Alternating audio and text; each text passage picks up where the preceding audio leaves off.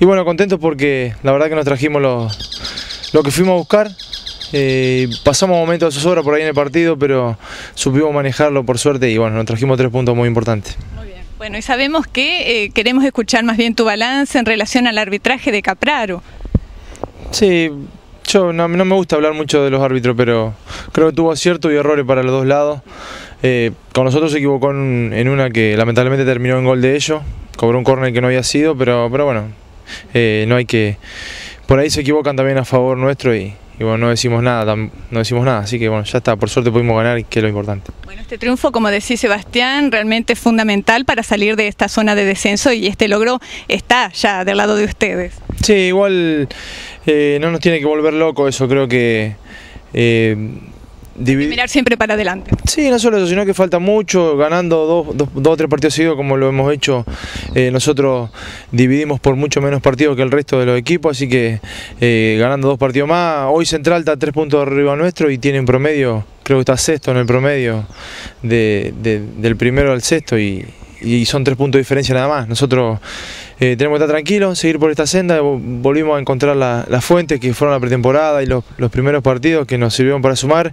Hoy por hoy el equipo apareció de vuelta y bueno, tenemos que estar tranquilos, seguir trabajando. El objetivo nuestro es obviamente mantener la categoría y, y bueno, sumar es importante. Decías recién, Sebastián, hace minutos, destacabas la actuación de Roth.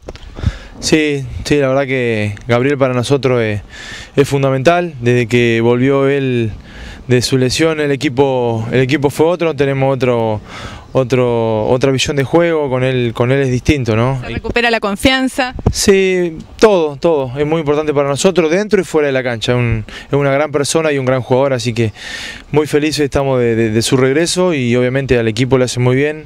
Eh, contagia a jugadores de buen pie para que juegue- se juegue bien y bueno, eh, eh, no por nada hemos tenido los rendimientos en los últimos partidos de que apareció él, así que bueno, feliz de que esté. Sebastián, se miden el próximo domingo, Dios mediante, con Independiente de Mendoza, ¿nos decías? Sí, sí.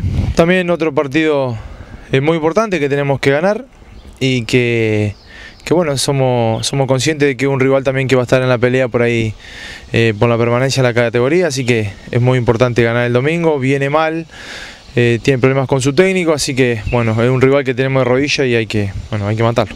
Bueno, esta tarde ya recomienzan las prácticas. Sí, llegamos ya a la madrugada y ya. Ahora en breve, en, un- rato ya, bueno, tenemos que presentarnos de vuelta a entrenar para sacarnos el viaje encima probablemente y bueno, ya encarar la semana pensando en, en Mendoza.